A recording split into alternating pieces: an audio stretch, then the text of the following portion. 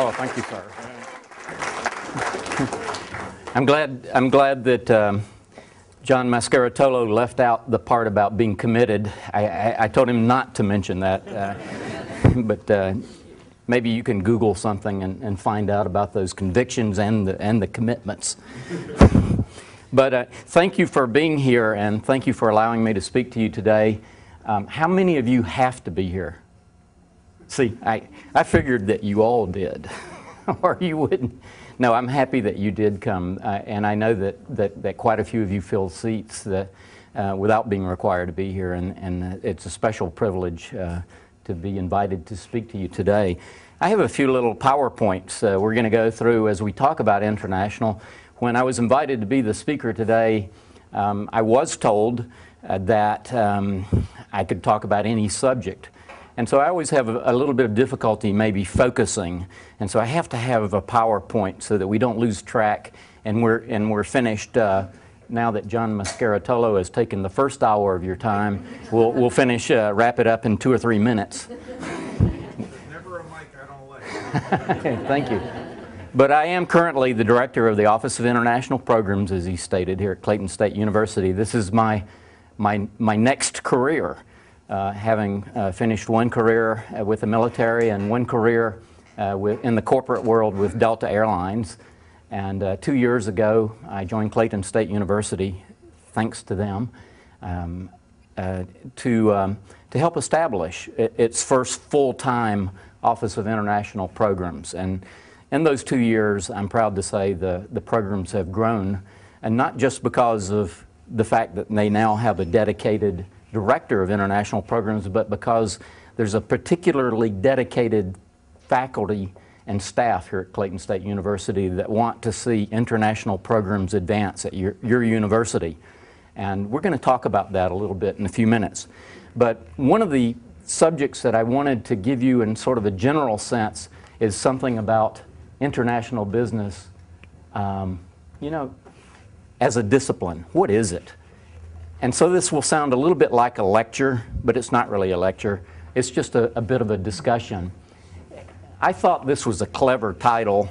Uh, it's probably not. Uh, there no, there's nothing uh, misspelled here. Um, you can eat international. It might help if you are Hungary. Get it? There's a country called Hungary. but, but international is a palate pleaser, you know, eating and, uh, okay. I thought it was clever. But I wanted to, to point out that when you're standing in front of the parliament uh, in Budapest, Hungary, Hungary, Hungary, see, there's a connection already, and you're look and and this river, beautiful river. Does anybody know what it is? This, say again. Danube. Who said that? Oh darn. A faculty member. That's not fair. Standing in front of the Danube, looking back across uh, this beautiful view of the Hungarian parliament, you can't help but think that some knowledge of the basics of international is essential today in our business world, in our educational environment.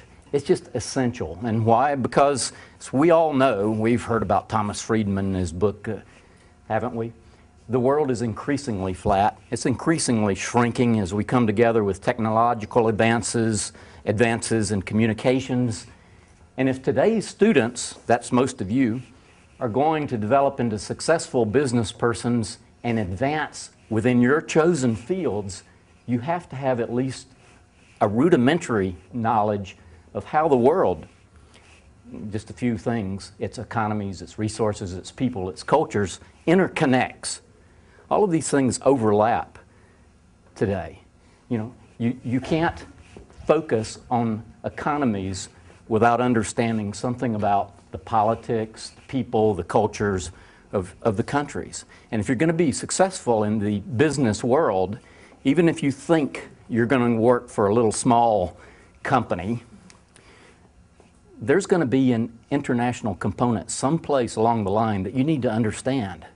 Maybe a certain piece of equipment that your company uses is manufactured in another country. Maybe that's the only connection you have to international. but it helps to understand something about where that piece of equipment came from, how it got to you.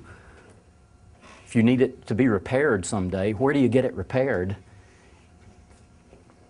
It's all interconnected. You can buy a Ford automobile, look under the hood, and that Ford might be manufactured in Michigan somewhere, but chances are you're going to find a lot of components under the hood that come from another country today.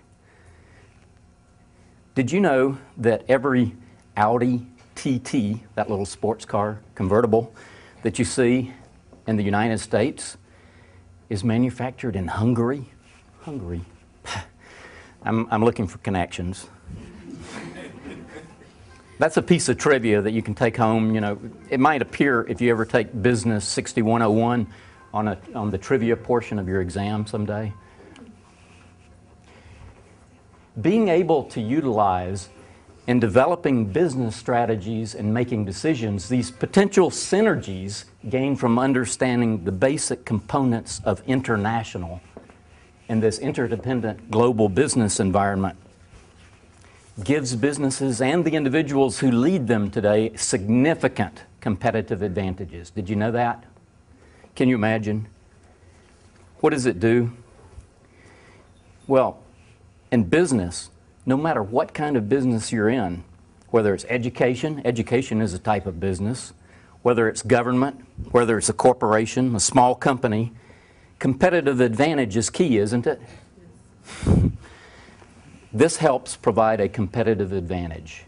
If you have some knowledge of international, if you have some knowledge of the basics of international, this proves, it demonstrates your credibility when talking about business. It shows that you know something more than just what's happening within the borders of our own country, and that you understand how the world today is increasingly flat and shrinking interconnected. It's very essential. That gives you the competitive advantage.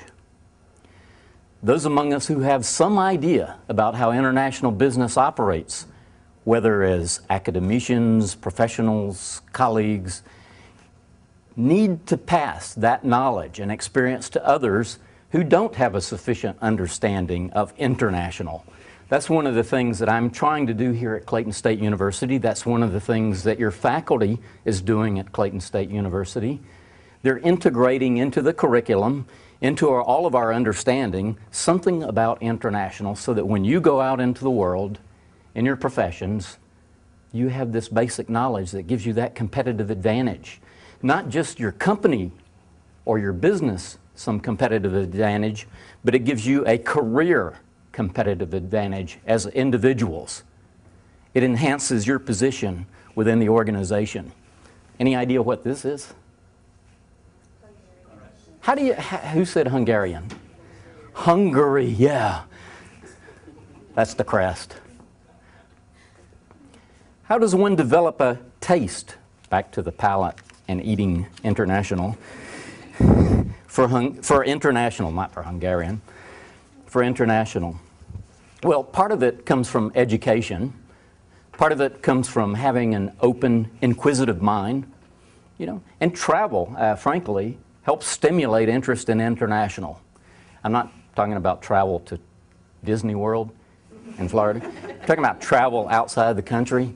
Just a few photos. That's my screensaver at the top. I don't know if you, anybody, uh, any guesses where that might be? Hungary.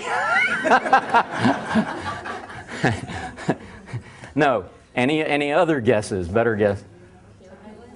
Looks kind of like Philippines, doesn't it? I don't know. I've never been there. Uh, Vietnam, possibly. Any other guesses? Thailand. Thailand. Who said Thailand? Not you again. Thailand. Bangkok. This is, this is what I call fast food Thai style. Anyone here from Thailand? Or been to Thailand? You've been to Thailand, yes.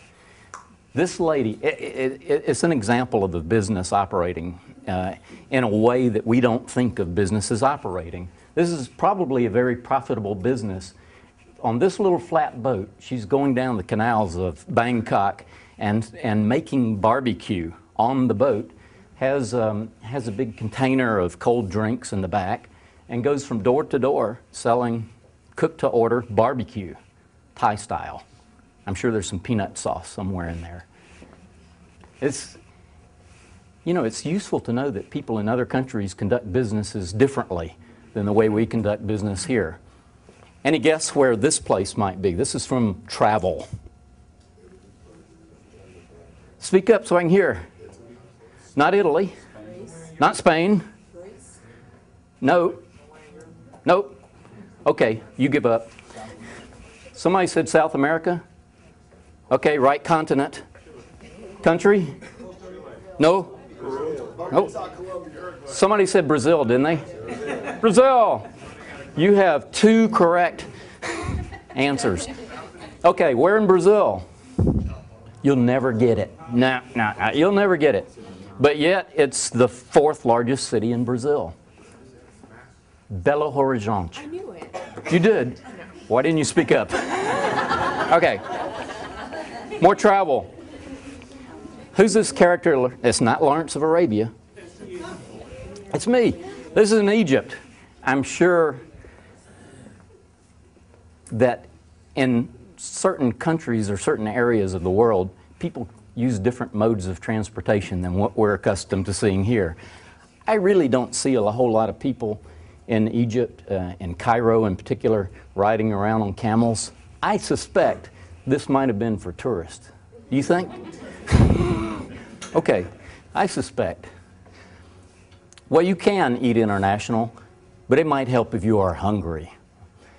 You need to have some knowledge of the basics of, of international. It's essential today. It's essential. We have to pass that along. Wow. Am I going backwards?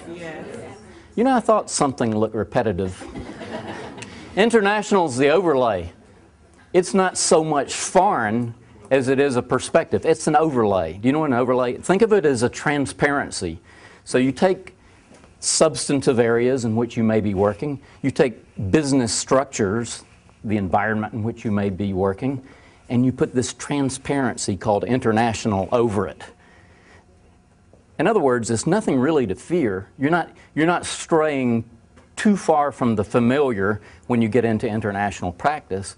You have to think of, and of this as a perspective. The word foreign scares a lot of people. And some people won't go into international business at all because they think that eh, it's too complicated. It's foreign. It's not foreign, it's a perspective. International is a different way of looking at things, of approaching things. You have to have some idea of the, the, the fact that the substantive areas in which you're working, let's, let's say you're an HR, human resources specialist. If you go into a multinational company as a human resources specialist, you're going to have some issues at some point dealing with those overseas employees of the, of the company. Well, you approach those issues the same way you do here. The questions are the same. If it's a question about maternity leave or vacation entitlement, uh, salary, minimum wages, those kinds of things, withholdings, those are the questions. Those are questions you have here in the United States in a domestic company. It's the same questions you have with respect to those international employees that your company may have. So that's what I'm talking about by perspective, by overlay. You have the same issues, so, so you're familiar with the issues, but you have to consider that there's a different way of maybe approaching those issues, or maybe they might be resolved slightly differently because that country has different sets of human resources laws. Maybe employees there are entitled to six months of maternity leave by law. Well, the, the question's the same how much are you entitled to? But it's just a slightly different answer. So that's the point, it's a perspective. Is it exotic or is it exhausting? Maybe international practice is both. It can be both. I think it's particularly exotic, and the exotic side is stimulating and makes it less exhausting. But after a 23 hour flight from Atlanta to Mumbai, India, you find that it has some components of exhausting as well. Especially when you're on a business trip and the first thing that you're supposed to be doing when you land in Mumbai, India, is going into a business meeting to negotiate an agreement with an employees' union. That's exhausting. Just the idea of negotiating with a union is exhausting, but after a 23 hour flight, maybe not such a comfortable seat, maybe the food's not so good, maybe the toilet didn't work on the airplane. Ooh, that's exhausting. But do the rewards outweigh the drawbacks? Yes, yes, because the exotic, the, the perspective, the fact that you're seeing something different, working in a different environment, it all outweighs the fact that, yeah, international travel is exhausting, but it's only exhausting in a fatigue sense. That's what exhausting means anyway, isn't it? Fatigue. You need to know your limitations. Know your limitations when you're in international practice, but still do your research. Evaluate the risks. It's, it's very important. And what I'm getting at here is don't hesitate to rely on experts or to ask questions when you're working in an international business environment. There often will be people who know much more than you, and often those people are nationals of that foreign country in which your business is operating. Don't hesitate to rely on the resources. Know your limitations, but still know that you have a certain perspective because of your knowledge of some of the basics of international that allows you to ask the right questions. That's what's important. Know what the questions are. Understand that the answers might not be the same as they are here in the United States. And in fact, the process for arriving at those answers might be different, very different as well. So know your limitations, do your basic research. Know something about the culture, the geography, the politics and religion, the competitive landscape in the country. This is a cultural no at the top. When in Japan, don't pretend like you're a walrus with your chopsticks. It's not polite. That actually, uh, um, I, I had promised myself after that was taken that I would never circulate that photo, but it just seemed appropriate at this time to share a little bit about. Don't do that. Don't do that. It's not appreciated. Don't play with your chopsticks. You know what you what you do though, and there's so many do's and don'ts when you're exploring the cultures of different countries. When you're in Japan, make sure you have plenty of business cards because you'll want to hand those business cards out in a very polite manner. That's an accepted, in fact, required part of their culture to open a business meeting. You have to exchange business cards for a number of reasons. We could, we could give a whole class on this subject of culture. In fact, in my course, um, in uh, international business and global logistics, we do have a class on the cultural do's and don'ts in various countries. It's not so difficult. In fact, it's very interesting to do a little bit of research into the culture of the particular country in which you're going to be working or visiting. Know something about that. This is a perfectly permissible example of enjoying the culture of a country. See this flag back there in that little crest? Where am I? Hungary. and we're enjoying the culture of that particular country on a, on a nice afternoon. We're having a couple of beers. Hmm. Perfectly good practice. In fact, I would highly recommend it.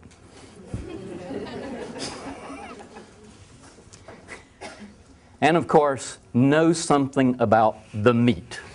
The meat, the legal regulatory environment. You need to know that before you go into a country with your business when you're exploring. This affects all kinds of things. It affects the kind of structure you may choose, whether you have a set up a if your company wants to uh, engage in foreign direct investment and set up some sort of operation locally in another country, know the legal structure, how you do this as a matter of law or regulation.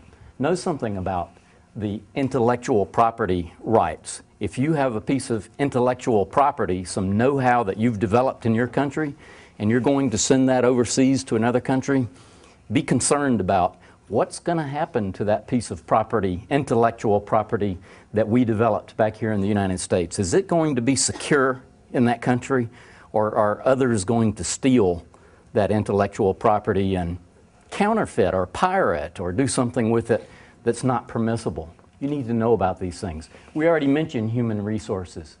Know something about the financial environment of other countries if you're doing business as a multinational. You need to understand that financial reporting requirements, for instance, are different than in other places than they are in the United States. You have to know something about the logistics and technology. Let's suppose you are an exporter in the United States and you want your tractors to be sold in India. Well, you have to know not just how to get those tractors on the ship in Savannah, but you have to know what's going to happen once those tractors reach the port in India. Uh, you know, is there a logistics system that will permit that product to get to the end user, the purchaser? How does that all work? You have to do that kind of research in advance. And I, I always include in my business analysis the necessity to have an exit strategy. Let's suppose your business venture is not working out like you hoped, like you planned.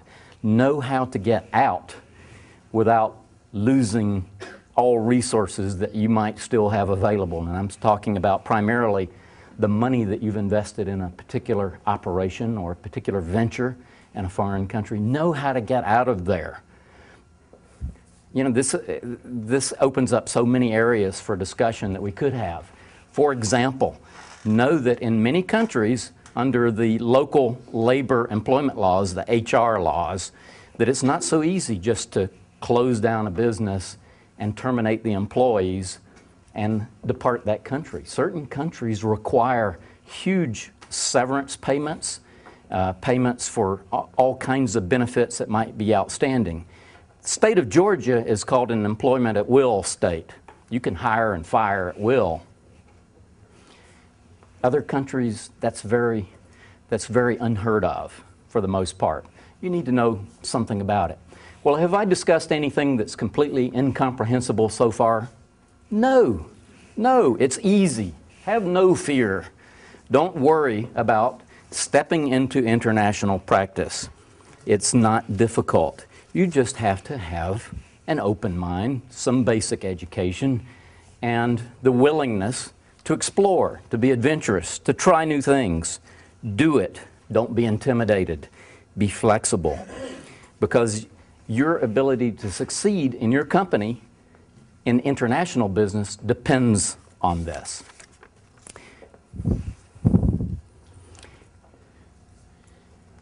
These are just some of the areas in which I've found that international can be eaten. When I talk about you can eat international, I'm talking about you can have a career that puts food on the table in international business. I remember as a history major in college um, going to a dinner that uh, my, my father was a banker. The board of directors had a Christmas dinner, and I sat next to one of the directors uh, from the bank, and he said, What are you studying, John? And I said, I'm studying history. And he looked at me, he said, Can't eat history. And I thought, How crazy is that? What the heck is he talking about? And then I said, Well, I, I want, I want to do, I want to have an international career. He said, What? What's that? Can't eat international. What are you going to do with it? You can eat international. There are many ways to have international career. I've sampled a few, and John Mascaritolo in the introduction named them, so I won't go into them here. Let's talk a bit about current international careers. What are we doing here at Clayton State University in the international field? And we'll, we'll sort of wrap up with this, but I want you to know something about it. Did you even realize there's an Office of International Programs before today? Good. Have you ever been to the link on the Clayton State website for Office of International Programs? Please do if you haven't, because that link, which incidentally is being revised right now to include new international programs for this year, coming year, uh, is a great source of information. Please go there. You'll see some of the things that we're doing. I divide the programs into, mm, you see five bullets here. Our focus in our Office of International Programs is in five primary areas. We're student focused. What I mean by student focused, there are various opportunities that we try to provide for students. One is study abroad programs. There are a lot of study abroad programs. You need to check them out. There are two study abroad programs. One in particular is well established in the School of Business, and that was last year's program or this year's program for business students to Turkey, the most successful um, international study abroad program that Clayton State University has had to date. 20 students went to Turkey for the Maymester this year. Very successful. We plan to add another program um, to the Turkey program, not to compete, but just as a supplemental program, possibly to Hungary during that same period. There are also programs to South Africa. These are Clayton State programs. Program to Jamaica, a Spanish immersion program to Guadalajara, a program to Australia in healthcare management, a program to Bahamas in marine biology, a program to Costa Rica in tropical ecology, that's new, and a program to Guatemala for the School of Nursing sponsors each year. Very successful program to Guatemala where the nursing students work in a remote uh, Mayan village, not just learning how to administer medical care in a tropical environment such as Guatemala, but actually administering it, doing things that would not be allowed to be done by students in the United States. They're getting hands-on experience working with these Guatemalans. Very interesting program. And then there's a program um, in spring break to Italy. So these are just a sample of the programs that Clayton State University offers. In addition to that, Clayton State uh, collaborates with the university system of Georgia with five additional programs Madrid, uh, London, Paris, St. Petersburg, and Waterford, Ireland. So all of these are open and available for credits that you can earn from Clayton State University. Second area of student-focused programs is exchanges, student exchanges. Clayton State University has two active student exchange programs at this moment, and there will be more. The two are with uh, University of Pannonia in Hungary, and the other one is uh, Georgian American University in Tbilisi, Republic of Georgia. Now these are, these are new programs, and this semester for the first time there are two students who are on semester exchange at Clayton State University, one from each of those universities. They're here. And let me introduce them. They're standing right here. Uh, those, two, those two students, um, we're, we're so happy to have Mariam Chubanidze. That's Mariam from Republic of Georgia. And the other is Sophia Terek from University of Pannonia in Hungary. And we're just delighted to have them. Let me tell you, that these are balanced exchange programs. They're body for body. They pay the tuition at their own home institutions they, and, and they pay their transportation to get here and they pay their accommodations and food once they get here. But as, as, in exchange for this, as part of this exchange program, we're looking for students to go to their universities from Clayton State. It has to be a balanced exchange or it doesn't work for the benefit of the two institutions or the institutions that are involved. So if you want to know more about this, please ask me. And thirdly, under student focus, there are a number of international students that are at Clayton State University and we're trying to provide support to them in various ways. Faculty focus programs, I'm just going to mention that we also have faculty exchanges. Have you, any of you ever seen any of our Indian exchange professors that have visited here? Yes. We have uh, faculty exchanges with two colleges in India. They're both colleges are part of the University of Mumbai, and uh, that's a very well-developed exchange program. We also have a faculty exchange program that started last year, um, or this, this uh, spring semester, with the University of Pannonia and we had a Hungarian professor who taught in the School of Business. And, and there also will be a Hungarian professor who's coming in October to teach in the School of Business, and we're seeking a professor to go in exchange for two weeks to University of Pannonia to teach there. Interestingly, they have both of these universities have English language curriculum. So it's no problem either as exchange faculty or as exchange students to go to those universities and attend classes and, you, and receive credits back here uh, in the United States. Just uh, so you know, these are officials at the top uh, uh in Turkey from some Turkish institutions with which we're working. Uh, this, is a, this is a scene of a group, that's me right there, um, at a place called Ephesus in Turkey. Have you ever heard of this? Ephesus? One of the old cities of Turkey. And look, there are two, they didn't know that I had this slide in here, so I knew they would be embarrassed. I was waiting for this moment just to embarrass them. I just, uh, please keep in mind that we have these well-developed international programs at Clayton State University, and we're developing more. And I want your participation. If you're interested in international studies, international programs, come talk to us. We're in the University Center, room 204. I have an extremely good partner in my office named Celie Blair. And Celie was here. Where are you, Celie? There's Celie, back there with the green jacket. One of us usually is there. She's usually there more than I am, actually. But we're there and we want to help you if you're interested in international studies. Um, sort of as a conclusion, let me tell you about two, briefly, two very exciting projects of where we're going at Clayton State. Something we, someplace we haven't been before. And one of those is we're developing, at this moment, something called the, Internet, the Institute for Ethics and Gandhian Studies. This is, will be an umbrella institute which will emphasize ethical behavior in all aspects of, of business, but also respect for the principles of Gandhi dignity, social justice, equality. And any program, whether it's business, arts and sciences, nursing, any discipline can be brought under this umbrella.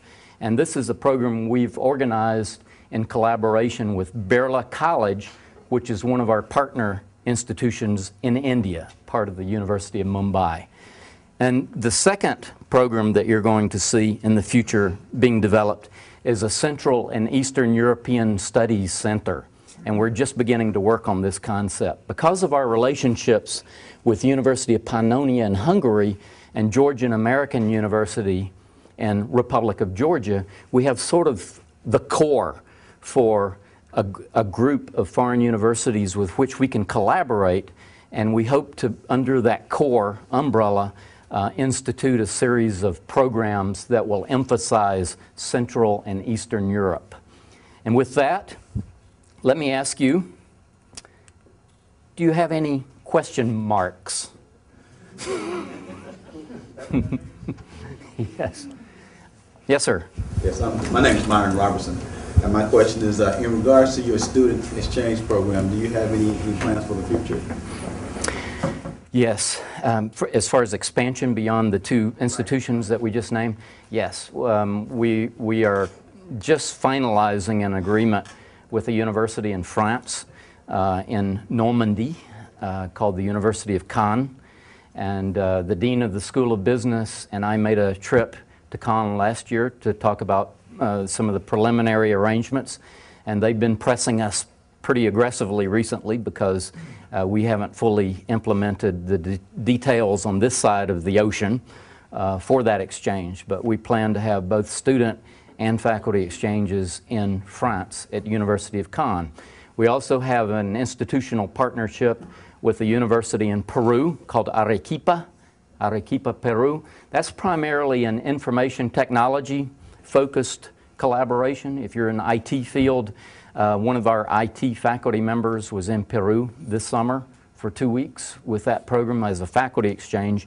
Now we want to expand that for student exchange as well in the information technology field. Um, those are the two that come to mind immediately that, that are the most developed at this point. We're looking to establish relationships with a university in, in China, in the People's Republic of China, because we don't have anything that's established at this point in that part of Asia, the Pacific Asia. Yes, sir. A lot of people don't realize that, you know, when you go, you know, across the pond, as we say, um, the, the uh, lucrative uh, opportunities are available for, let's say, American students that, you know, have an American degree and go overseas for employment. The, the opportunities are endless. Yes. And a lot of people are comfortable just, you know, in Monroe, you know. So, so uh, could you address that a little bit about um, the opportunities are available for people that are that might consider going overseas? Yeah. Proven experience in international education from the perspective of, of a student is a very marketable asset.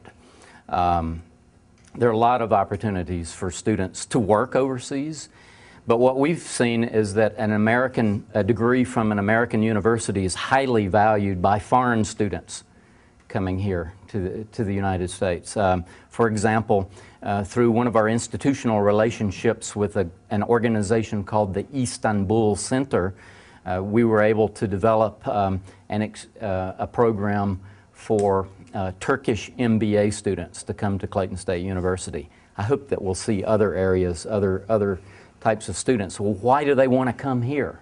Why does a student from Turkey want to come to Clayton State University?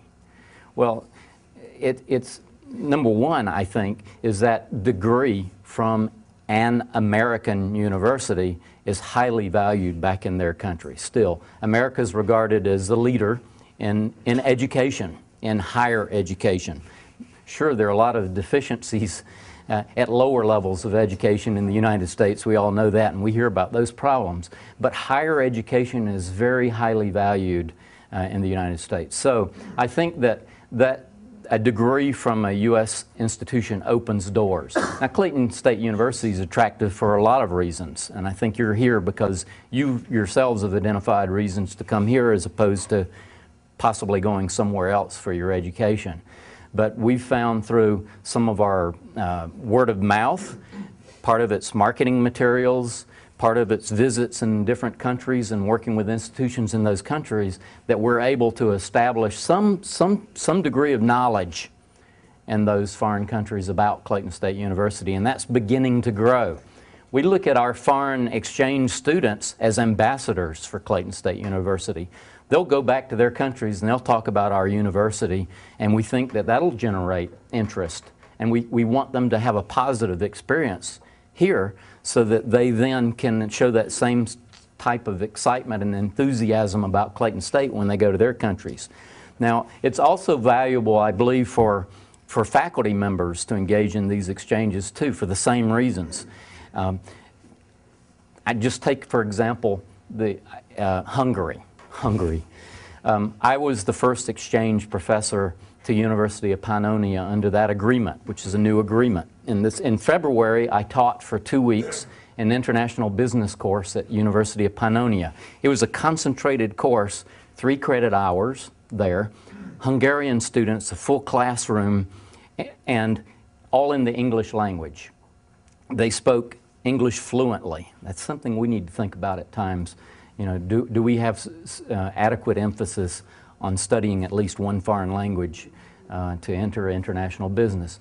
But those students were prepared to hear me with my Georgia accent, uh, I think, um, uh, lecture, have classroom discussions for 10 days of classes, two weeks, 10 days of classes. Every day we were in class for four hours or so. That's a lot of seeing those people in two weeks. Very concentrated course.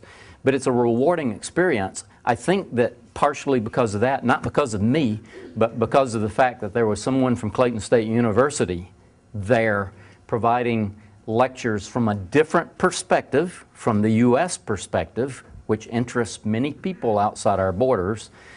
I think that that was good for our university. And I think the, feel the same way about our faculty members that go to India and our faculty members that will be going to France and hopefully to Republic of Georgia under an exchange. So the word gets out and we attract those students. They value that degree. They value that experience if they're not degree seeking students here at Clayton State because to have on your resume that you attended a U.S. university still means a lot outside the borders of our country. Am I correct about that? yes. Can you repeat the question for the sake of the video? Yes. Now I can't repeat the question because it was asked about 20 minutes ago. Uh, no, I think the question, as I understood it, was that um, was was what kind of experiences um, are available for for students who study here, working in the international environment. And I'm not certain that I completely address that because there are so many different types of experiences that are available, regardless of what field you're in. But to me, the more relevant portion of that question is what's the value of our education for students who do come here and then return to their home countries, and, and what does that gain them as an asset? It makes them more marketable, certainly. Mhm. Another question? Yes, ma'am. Do we have any intentions of developing a relationship with Canada and Mexico? Do we have any intentions of developing a relationship with Canada and Mexico? We are developing a relationship in Mexico now uh, with a an institute in Guadalajara. Uh, that's primarily focused on um, uh, Spanish language um, um, curriculum, hoping that that um, that provides students an opportunity to actually hear and learn Spanish in a in a in a Spanish-speaking environment.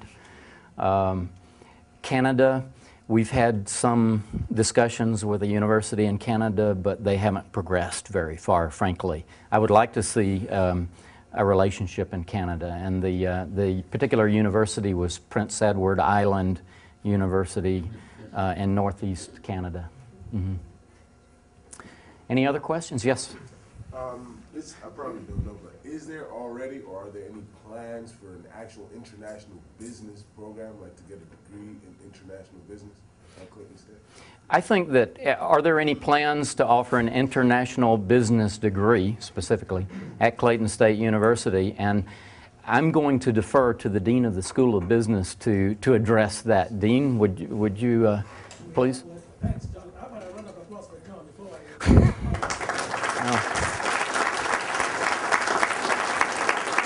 Thank you. I know you, you'll still get some more applause, but no, going back to the question, um, we are in fact discussing, uh, major in IB. Uh, I think the, the demand is there. Atlanta is a world-class business city, and so we have to respond to the needs that I think are there. Uh, and, uh, in fact, our associate dean, Diane, uh, will probably share some more information later on, but the plans are in the, uh, in the works, so we'll get something for sure. Yeah, I would say we're gonna probably start with the IB minor and then work our way into the major, so we'll probably do it more slowly, but yes, we do have plans. It's partially developed already.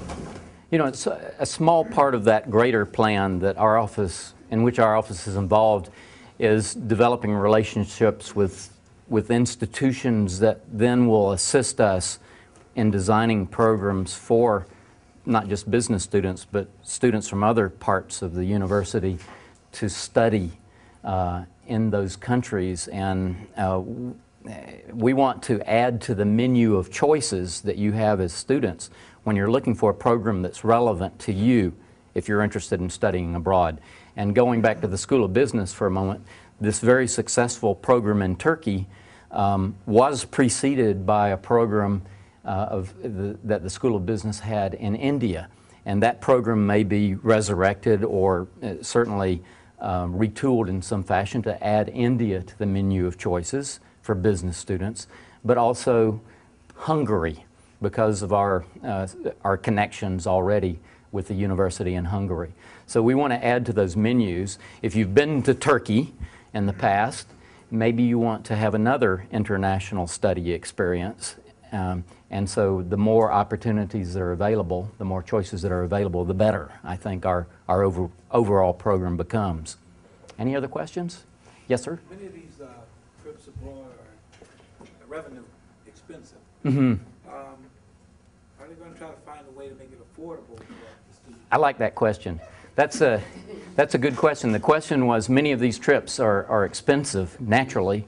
Uh, Is there a way to make them more affordable? And, and um, you know, we recognize that fact. When we're designing study abroad programs for students, one of the, one of the, the primary factors that we have in mind is whether those programs can be affordable, uh, made affordable. And we do a great deal of shopping for vendors, whether it's airlines or accommodations, um, or just places that you would visit to ensure that the, that the trip is affordable. Now, there's some, there, there's a range of costs for these trips. If you're going on a study abroad experience to London, you know it's going to be expensive compared to a study abroad experience in Guadalajara, Mexico. And there are a number of factors. Um, Primary, the, primary, the, the, the largest single cost when designing a, a study abroad program is, can you guess? Hmm? Transportation, air, air transportation. To go to Guadalajara, if you buy group fares for a group of students far in advance, you might get a price as low as $500 round trip. If you're going to do that to London, you're talking about a minimum of 1500 to 1700 on a good shopping day. So, you know, all of those factors go in. Accommodations are very expensive in London, same in Paris, same in St. Petersburg, Russia, you, Europe generally. But if you have a, a much more closer at home experience like Guatemala from the School of Nursing, that program is under $2,000, whereas a program to London might be as much as $4,000. That's going to be a factor, I know, in your choices. And as students, you have to start planning well in advance if you're going to save up to go to London, for example. Um, it might not be as much a factor if you're in the School of Nursing. So that, that is a consideration. We want to offer programs that give you a choice based on you know, not just your, the discipline that you want to study, but also a choice in terms of places that you want to see and visit, but also a choice in terms of affordability. So there's a range. Does that answer your question, sir? Okay. Are there any other questions? Yes, ma'am. Hi, my name is Dr. Patel. Um, I'm a soon-to-be graduate this December, and I plan to go to Clayton State for my graduate program also, and I was wondering if the two-week exchange is also back for the graduates. Yes, yes. If, if your pro- particular program accepts the credits, um, accepts the courses that have been, the numbers that are, and the course uh, names that are assigned to those study abroad experiences, then yes, I mean, they're open to graduate and undergraduate students. But you have to talk to your, your, your, your uh, academic advisor and um, others in the department who who will be able to give you advice as to whether that particular study abroad program will satisfy your credits. But they're open. The Turkey trip and the India trip, it would be available to MBA students and undergraduate business and healthcare students. So we always try to make it so that there's something, a course that anyone could take in the school of business. Yeah. So theoretically, they're open to all students. But it, but you know, you, depending on what the course, how the course is designed, what it's offering in terms of credit, you may or may not find that course to be of any use. Mm. Andrew, where are you? Yes, sir. Parkerson, uh, talked with you last year about the Turkey trip, and you had scholarships in the amount of five hundred dollars. Are you gonna have any scholarship money available for your trips that you're having this year? Another good question is whether there are scholarship monies available for study abroad uh, trips. Um, there are very limited scholarship, number of scholarships that are available. Uh, let, let me first tell you about the scholarships that I do know about.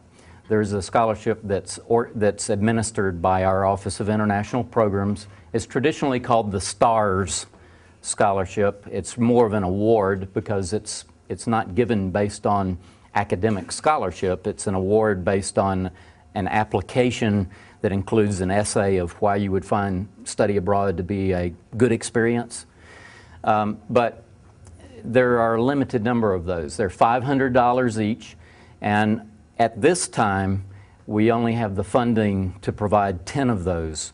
So if you have, uh, our average number of study abroad students in the past couple of years, I'm averaging, is about 65 at each year, about 65 students. So 10, 10 awards don't go a long way.